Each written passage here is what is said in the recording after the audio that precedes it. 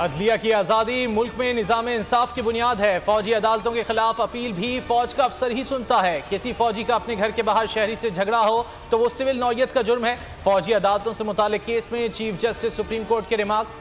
कहा, हम trial court पर सब कुछ नहीं छोड़ सकते। 2015 में इक्कीसवीं तरमीम के ज़रिए आयन पाकिस्तान को एक तरफ़ कर दिया गया, मगर अब ऐसा नहीं है। जस्टिस आयशा मलिक ने रिमार्क्स में कहा, अदालतों का काम बुनियादी हकूक की फराहमी और तहफ़ करना है। आयन में अदलिया और इंतजामिया के दरमियान इख्तियार की तकसीम वाजे है। जस्टिस एजाजुल एहसन ने कहा, मुकदमे में बुनियादी सवाल हैं, जिनके जवाब ज़रूरी हैं।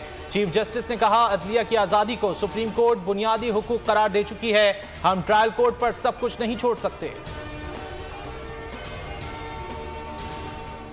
आर्मी एक्ट पर बुनियादी इंसानी हुकूक का इतलाक नहीं। 9 मई जैसा वाकया तारीख में कभी नहीं हुआ।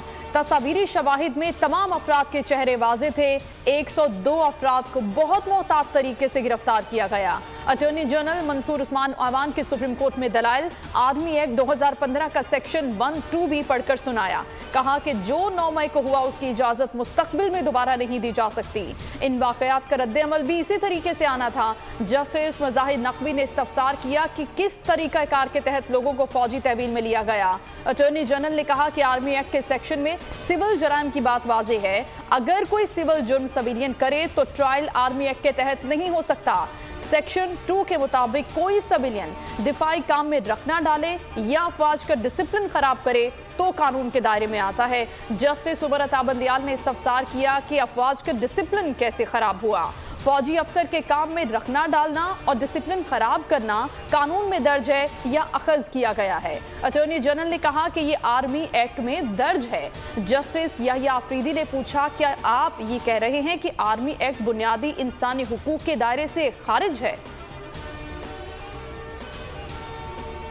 लाहौर हाईकोर्ट ने चेयरमैन पीटीआई को मुकदमात में गिरफ़्तार करने से रोकने का हुक्म वापस ले लिया। अदालत आलिया में चेयरमैन पीटीआई के पंजाब के केसेस यकजा करने और कार्रवाई रोकने की दरख्वास्त पर समात वकील चेयरमैन पीटीआई इंतज़ार हुसैन ने कहा, सीनियर वकील दस्तियाब नहीं, मोहलत दी जाए। अदालत तादीबी कार्रवाई से रोकने का हुक्म वापस ना ले। वकील ने चेयरमैन पीटीआई के खिलाफ तमाम केसेस यकजा करने की भी इस्तः की। अदालत ने दरख्वास्त की, मजीद समात गैर मुना मुद्दत के लिए मुलतवी कर दी। जिना हाउस हमला समेत पाँच मुकदमा। चेयरमैन पीटीआई की अबूरी जमानत में 8 अगस्त तक तोसी। एटीसी लाहौर ने आइंदा समात पर वकला को दलाइल के लिए तलब कर लिया सबक वज़ीर आज़म अबूरी जमानत की मैयाद खत्म होने पर अदालत में पेश हुए। स्पेशल प्रोसिक्यूटर फरहाद अली शाह ने कहा कि तफ्तीश मुकम्मल कर ली है।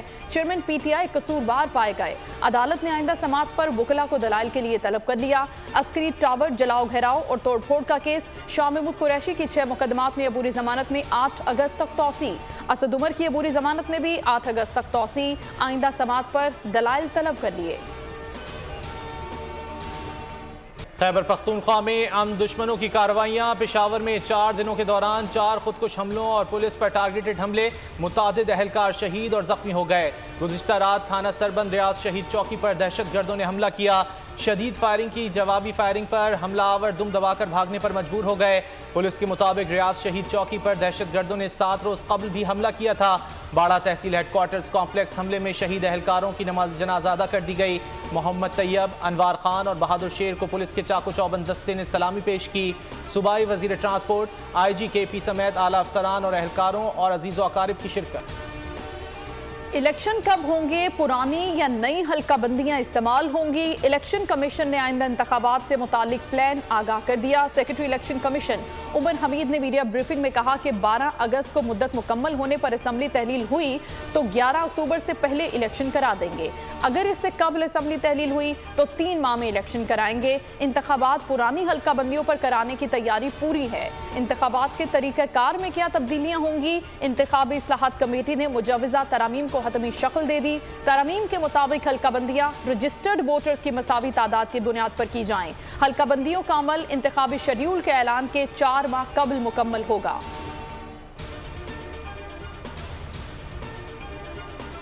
स्वीडन में एक बार फिर कुरान की तोहन पर मुस्लिम दुनिया सरापा एहतजाज। पाकिस्तान की स्वीडन में कुरान पाक की बेहरमती के ताज़ा वाक़े की शदीद मजम्मत। वज़ीर अजम शहबाज शरीफ की शदीद जानब से शदीद गम गुस्से का इजहार। कहा ओ आई सी के प्लेटफॉर्म से इस शैतानियत के तदारक की मुश्तर हमत अमली बनाएँगे। तर्जुमान दफ्तर खारजा ने कहा आज़ादी इजहार राय की आड़ में मजहबी मुनाफरत पर मबनी कार्रवाइयाँ नाजायज़ हैं। आलमी कानून मज़हब अकीदे की बुनियाद पर इम्तियाजी सलूक और तशद को ममनू करार देता है। इस्लामोफोबिया वाकयात ने दो अरब से जायद मुसलमानों के जज्बात को ठेस पहुँचाई है। आलमी बरदरी इस्लामोफोबिया कार्रवाइयों की मजम्मत करे। मुमताज़ जहरा बलोच ने मजीद कहा, तमाम ममालिक मजहबी मुनाफरत फैलाने वालों को अलग थलग करने का आगाज़ करें। तो है, स्वीडिश हुकाम इश्तियाल अंगेज की कार्रवाइयों को रोकने के इकदाम करेंगे। किसी भी मजहबी किताब को जलाना या उसकी बेहरमती करना, घिनौना अमल है। कुरान पाक और दीगर इबादत की अहमियत को सराहते हैं। तर्जुमान अमरीकी महकमा खारजा मैथ्यू मिलर का कहना है कि पाकिस्तान में बुनियादी जमहूरी असूलों को सपोर्ट करते हैं। हम न सिर्फ़ पाकिस्तान, बल्कि पूरी दुनिया में कानून की हुक्मरानी के हामी हैं। तालिबान पर किसी किस्म के अतमाद या अदम एतमाद का इजहार नहीं करना चाहते। तालिबान को उनके वादों पर कायम रखने के लिए बात करते रहेंगे। दरियाए सतलुज में सैलाबी सूरत हाल बदस्तूर संगीन है। बोरेवाला में साहूका के मकाम पर मुतद हिफाजती बंद टूटने से सैकड़ों एकड़ पर फ़सलें तबाह हो गईं। मुतद बस्तियाँ जेर आब आ गईं। लोग अपनी मदद आप के तहत इमदादी कार्रवाइयाँ कर रहे हैं। तहाल कोई हुकूमती मदद नहीं पहुँच सकी। दरियाए चिनाब में चिन्यौट के मकाम पर निचले दर्जे का सैलाब है। सैलाबी पानी दर्जनों नशेवी बस्तियों में दाखिल हो गया। सैकड़ों एकड़ पर खड़ी फ़सलें जेर आब आ गईं।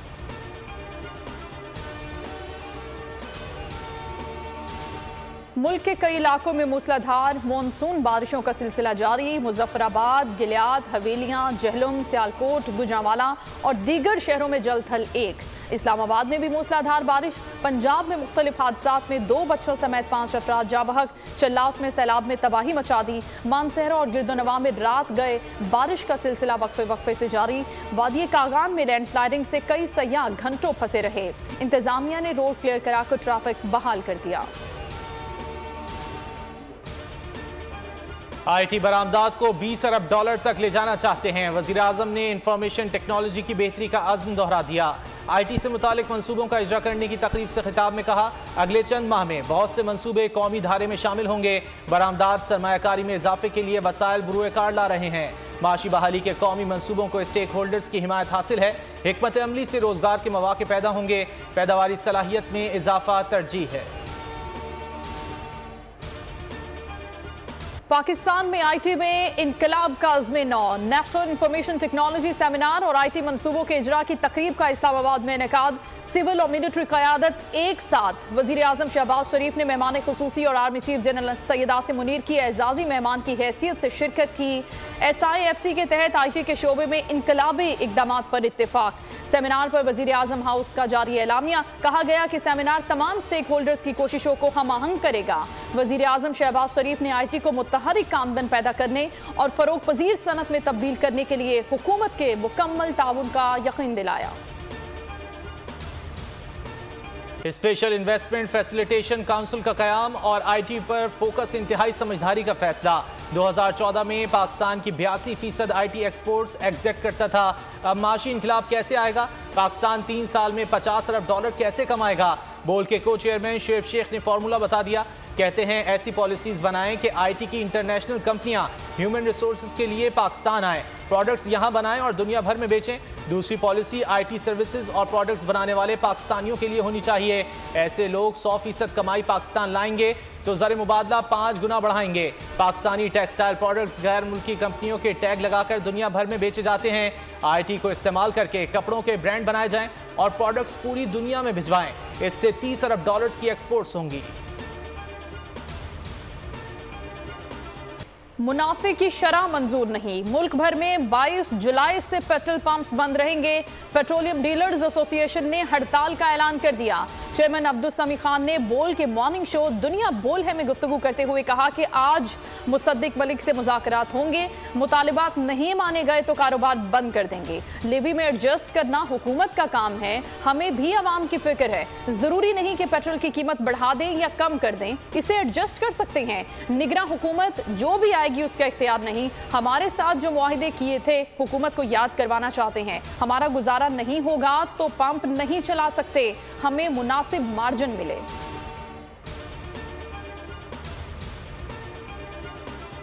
मुल्क में आटे और चीनी की कीमतों में इजाफा जारी। लाहौर में 20 किलो आटे का थैला 2850 से बढ़कर 2915 का हो गया। शहर में चीनी की किल्लत बरकरार। ओपन मार्केट में चीनी डेढ़ सौ रुपये तक पहुँच गई। इंतजामिया की रेट लिस्ट में आटा और चीनी के रेट मुकर ही नहीं किए गए। कराची, इस्लामाबाद, हैदराबाद और दीगर शहरों में चीनी एक से डेढ़ सौ में दस्तियाब। कराची में दस किलो आटे की कीमत सोलह सौ हो गई।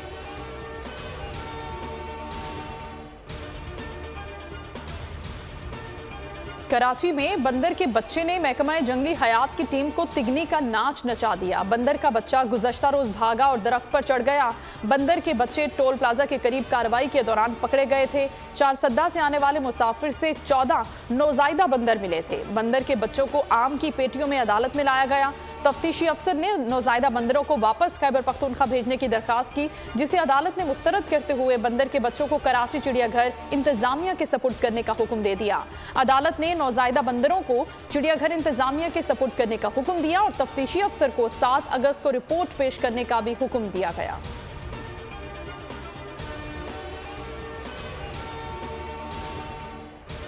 लाहौर हाईकोर्ट ने शहर में गैर कानूनी पार्किंग फौरी खत्म करने का हुक्म दे दिया। आइंदा समात पर मुख्तलिफ़ महकमों से अमल दरामद रिपोर्ट तलब कर ली गई। अदालत ने रिमार्क्स में कहा, ट्रैफ़िक रूल्स की बहुत ज़्यादा खिलाफ वर्जी हो रही है। एल डी ए रूल्स बनाए और मेन सड़क की सर्विस लाइन पर पार्किंग खत्म की जाए। अदालत का कहना था गैर कानूनी पार्किंग से ट्रैफ़िक जैम होती है, जो आलूदगी का बायस बनती है। पुराने दरख्तों को महफूज और उन्हें गिरने से बचाया जाए। जिन रेस्टोरेंट्स की पार्किंग नहीं, उन्हें सील कर दें।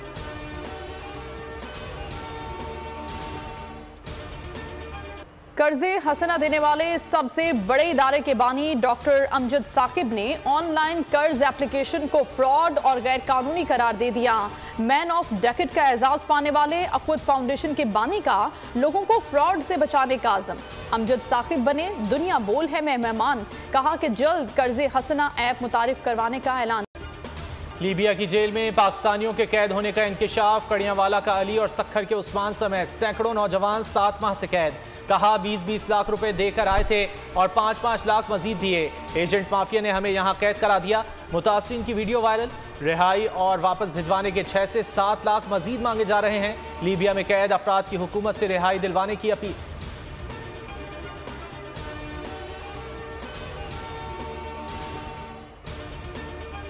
रहीमियर खान में पुलिस की मौसर हमत अमली, कामयाब रही। चौदह साल लड़के समेत पाँच मगमियों को बाजियाब करा लिया गया। पुलिस की बरवक्त कार्रवाई पर मुलजिमान मगमियों को छोड़कर फरार हो गए। पुलिस के मुताबिक मुलजिमान अदील नामी नौजवान को खेतों और चार मजदूरों को बाघ से अगवा करके ले गए थे। इत्तला मिलते ही कार्रवाई शुरू कर दी थी।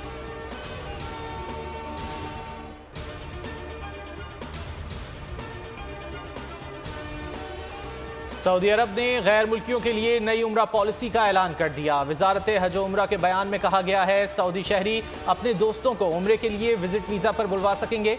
विज़िट वीज़े पर आने वाले गैर मुल्की एक मरतबा या इससे जायद बार एंट्री वीज़े की सहूलत हासिल कर सकेंगे। गैर मुल्की उम्र की सदत के अलावा मस्जिद नबवी की ज्यारत भी कर सकेंगे। इसके अलावा मुख्तलिफ़ शहरों में तारीखी मकाम और सकाफती मराकज़ का दौरा भी कर सकेंगे।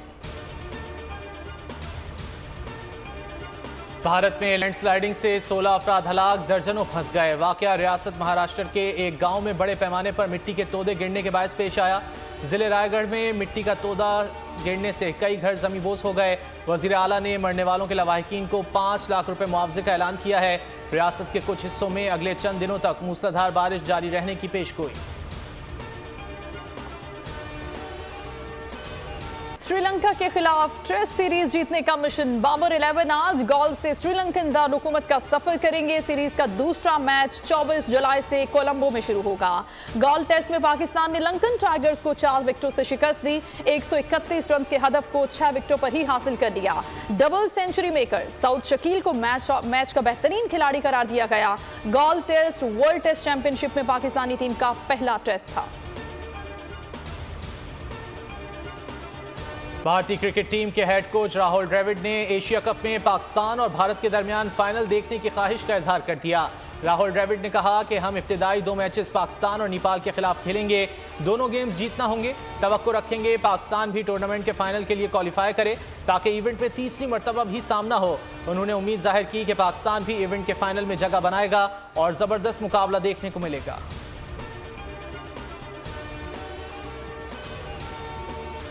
और फीफा वुमेन्स वर्ल्ड कप का मेला न्यूजीलैंड के शहर ऑकलैंड में सज गया। रंगारंग इफ्ताही तकरीब से टूर्नामेंट का आगाज़ स्टेडियम में शानदार आतिशबाजी, आसमान मुख्तलिफ़ रंगों में रंग गया। मेगा इवेंट में 32 मुल्कों की टीमें हिस्सा ले रही हैं।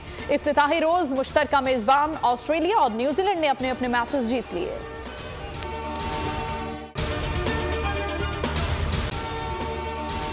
अगर आपको ये वीडियो पसंद आए तो लाइक पर क्लिक करें। पाकिस्तान की आईटी इंडस्ट्री जो है, वो पाकिस्तान की एक्सपोर्ट में एडिशनल इजाफा कर सकती है अगले तीन सालों के अंदर। क्योंकि आईटी और बाकी जो तीन सेक्टर्स हैं, उन तीन सेक्टरों में आईटी में फ़र्क है। वो ये है कि ये ये टर्म में आपको गेंद दे सकती है, जो पाकिस्तान की नीड है इस वक्त। आईटी को तो पहले भी, इससे पहले वाली हुकूमतें और इससे पहले भी लोग डिफाइन करते आए कि जी यार आईटी से बहुत चेंज आ जाएगा। क्या वो इम्पैक्ट हुआ आईटी इंडस्ट्री के ऊपर जो हम समझते थे और चाहते थे?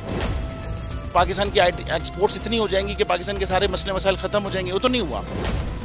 आपकी जो पॉलिसीज़ हैं, वो कॉन्फ्लिक्ट हो रहा है। क्या हमने ऐसी पॉलिसीज़ रखी हुई कि गूगल मजबूर हो यहाँ पे ऑफ़िस खोलने में? पॉलिसीज़ के तहत करना होगा, वो दो से तीन महीने, चार महीने में खुद ब खुद ऑफ़िस स्टार्ट करेंगे। जो आपके मुल्क का आर्टिक एंटरप्रेन्योर है, सौ मिलियन डॉलर तो वो बाहरी अकाउंट रोक लेता है। आप उसको मोटिवेट करके, उसको फिर फोकस करें, उस पर इंसेंटिव करें, वो आपको हंड्रेड आएगा तो आपका फाइव टाइम्स इंक्रीज हो जाएगी फॉरन। टेक्सटाइल में हम क्या करते हैं? हम उठाते हैं, बाहर के किसी ब्रांड के लिए टी शर्ट यहाँ बनाते हैं, उसको दे देते हैं। लेकिन अब आईटी के बाद अगर आप अपना ब्रांड बना के लोगों वहाँ पे बेचेंगे चाहे बी टू बी बेचें, चाहे बी टू सी बेचें पॉसिबल है। पाकिस्तान की जो एक्सपोर्ट में ये तीस अरब डॉलर से ज़्यादा का इजाफा इससे हो जाना खाली यार। गवर्नमेंट के फंडों से इदारे बनाकर और उनके थ्रू कोई रेवोल्यूशन आ जाएगा, सवाल ही नहीं है। आपने इंतखा सही कर लिया है। अब आगे चीज़ सही करनी है। बस आप सही डायरेक्शन में सही चीज़ होगी, इंशाल्लाह मैं समझता हूँ पचास अरब डॉलर तक की आईटी एक्सपोर्ट में कंट्रीब्यूट कर सकता है पाकिस्तान सब्सक्राइब करें और बेल दबाएँ ताकि कोई खबर रह न जाए।